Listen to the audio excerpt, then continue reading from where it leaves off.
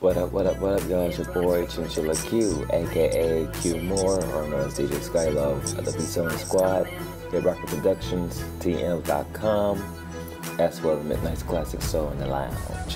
What's good, you guys, on this February 17th, 2014? You know, it's been a while since I made the video, made a new video, whatnot.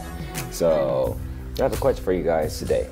And it's a very important question. You see, I'm wearing my favorite little t-shirt when I'm off of work, so yeah, but work never sleeps. Hashtag that. Other than that, though, the question I have for you guys this morning is Is your job a pyramid scheme? Think about that. Because there's people, there's so many people out there that says, you know, well, what are you doing? Are you working pyramid scheme? Because I hear that you get to a certain type of business and you get the head honcho making more money than everybody else. You got bring people into the business you make more money than them. Then it adds up. And it's kind of funny because I remember I was talking to one of my coworkers at work about that. And um, and I was telling you know, what business I was in. And so he was like, ain't that like a pyramid scheme? I'm like, nah. I said, a pyramid scheme is what we doing working at our job. Keep this out. I work at the airlines and I do cabin cleaning, which means you go inside the aircraft, aircrafts and clean them. I'm not gonna say which company it is, so I'm just gonna keep it at that. But you got the head boss who owns part of the corporation of certain airlines. And then you have his executives, you know, a couple CEOs here and there. And then you got the vice president. And from the vice president, you got the well, you got the president, vice president, and then from that, you got other folks, maintenance, and other engineers and other business folks that's around the area.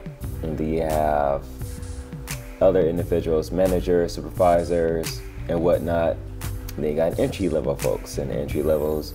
Well, let me go. Let me bring it down a little bit further.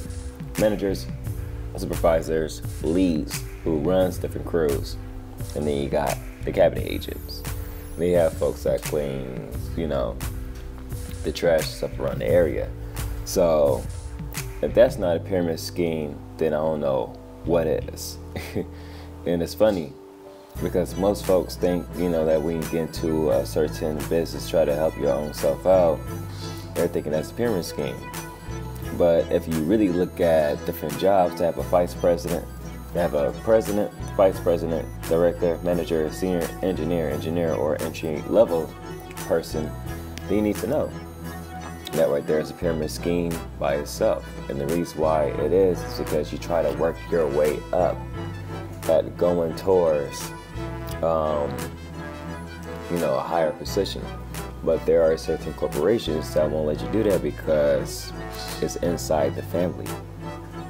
And so it's always amazing to hear folks that be like, man, the thing you do is a pyramid scheme or, you know, just new opportunities. Like you have folks that say, oh, I wish I had more money. I wish I had this. I wish I had that. When an opportunity hits them, they get skeptical and be saying to themselves, oh, this must be a pyramid scheme. I was thinking like this a long time ago. If you wasn't a pyramid scheme, and there are some, but not all. You can tell which ones are by the way certain people act and the way they how they say things. But not all pyramid schemes are schemes. Matter of fact, you're working a nine to five and work your butt off every two weeks for a paper paycheck in order to save money or do what you need to do, you basically work in a pyramid scheme for two weeks just for some money. So why not join a different opportunity to where if you can make money every day no matter how much, how big it is. But you stay consistent to learning, keep your mind stay open, and keeping your thought process clear and not negative, then you be straight. What I mean by being straight is mean if you put in the hard work and the hard effort, you would get to where you need to get to. Not that many people want to put in the hard work. You see, we've been so caught up in consumerism out here in the US that's just ridiculous folks want, want, want, want, want. But when it comes to knowledge, they push it towards the side. Don't push knowledge to the side. Knowledge and wisdom are the greatest tools and nuggets that you can actually use for your life. And that's coming from somebody that, you know, still studying on some things as well too. So I just want you guys to answer that question to yourself. Is your job your pyramid scheme? Are you trying to reach up the ladder or are you just comfortable where you're at? Because if you're comfortable, you're not gonna really get anywhere. You gotta get out your comfort zone. The reason why you gotta get out your comfort zone is because if you stay too comfortable to where you're at, you're not gonna amount to nothing. And that's just hard truth. I'll give you guys an example. One of my leads, um, also a good friend of mine as well, in a little crew that I'm working with over at the airlines I'm working for, had um, you know, had he has he has basically almost like a little vacation time. So even though the whole crew know how to lead, I took the initiative to go ahead and um, you know and lead the crew my own self. And so let me just say that yesterday and the day before yesterday, which was Saturday, Sunday, it was real burnt out and tiring. But at the same time, um, whilst we're in the little lead fest and whatnot, because yes, we do got different fests that shows you, you know, regular cabin agent, lead, supervisor, manager over at the airlines. But um, was wearing the lead vest and whatnot, not even a lead, but just wearing it, you know, and just taking initiative, taking action, taking massive action, even at my job, and just making sure that, you know, the aircrafts we get on are clean properly and everything else like that. Because usually when we get on the aircraft, you know, we don't have that much time to clean an aircraft like fully. So you just gotta get on there, do what you need to do, and hop off. Simple as that. But I have to get out of my comfort zone because nine to ten times I really don't like leading half the time. But if my lead is not there, then I'll take the initiative to go ahead and say, you know what, let me go ahead and do this. Then let me go ahead and run the crew tomorrow and just plan everything out accordingly. So that's how you gotta think, ladies and gentlemen. You gotta think like that. And the boy is a music producer. So from our music producers, that's how you really gotta think with your business. Like I've been saying so many times in my videos. Your music production business is a music production business. You have to take initiative. You have to take massive action. You have to think on the next trip on how you're going to finish your business more because making music and the beats is just you know that's real easy and simple. Anybody can make a beat we're just using four tracks. Clap snare hi-hat and a kick. Well making five bars. Well five I mean five tracks. Add a melody to it if you want to. But at the same time you got to know the business aspect of it because there's a whole lot of marketing and promoting and investing in it. And what I mean by investing or investments into your business. So you have to be strong and strided on that. and that comes from a brother who is doing the damn thing. At the same time, it's a process, but it's a good process too.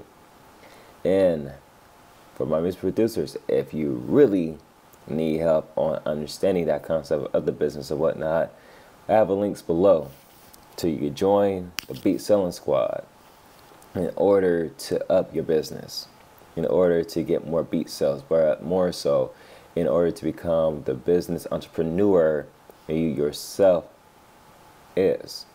And especially if you have a talent, you know, that been blessed with doing, I would say nine to ten times, take that talent to the next level.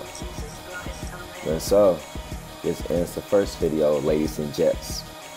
Are you working in a pyramid scheme at your job? or are you open to new opportunities? You know, before I even hop off, let me just say this. For those that say, you know, the pyramid schemes because somebody who's making a million dollars and other folks making a thousand dollars, you know, that's a pyramid scheme. It's not. What that person who made that million dollars and whatever business they in, is that they work hard towards getting there. They went through the blood, sweat, and tears and the effort in order to have a different lifestyle for their family, in order to not work a nine to five, in order to be free from the system of corporate America or corporate rations period, period that says you come to work, work like a slave, you do this for this certain amount of hours. We tell you when you have your vacation, We tell you when you need to get off. We tell you when to come in. We tell you, we tell you, we tell you. You work your own business, be your own boss, and if you have a willing heart to help out others to get to where they need to get at, trust me, you're gonna have a better business. You're gonna feel a whole lot more free, and you're not gonna be feeling so stressed out and pissed off like most folks. And if you invest your money wisely, then you'll be able to get the things that you want to get. Or if you have kids like I do, make sure you put money towards college fund for for them, especially in their especially if they're babies. Reason being, so when they get older, the college part will be straight. If they want to do what daddy's doing, then hey, they could. Daddy could teach them the ropes and show them. This how you own your own business while it has to work a nine to five and struggle. But most folks, if you love your nine to five job that you're working at, hey, by all means, stick with it. For those that are sick and tired of working a nine to five, make a choice, make a change, and see you at the top.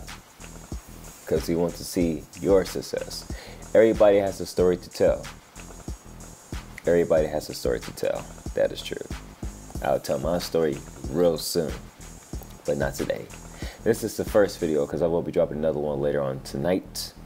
And um, try to see if I could also put out a video uh, of how I created one of my instrumentals. So stay tuned for that.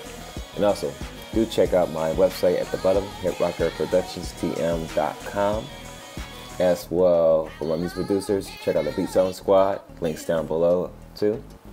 For those that um, want to be motivated, go ahead head to my website, which is below, and click that inspiration button that you see on there. I guarantee you will like what you see. Other than that, this your boy Chinchilla Q with the first video saying adios, deuces. I gotta get to work on some business. All right, now let's hit it. Peace.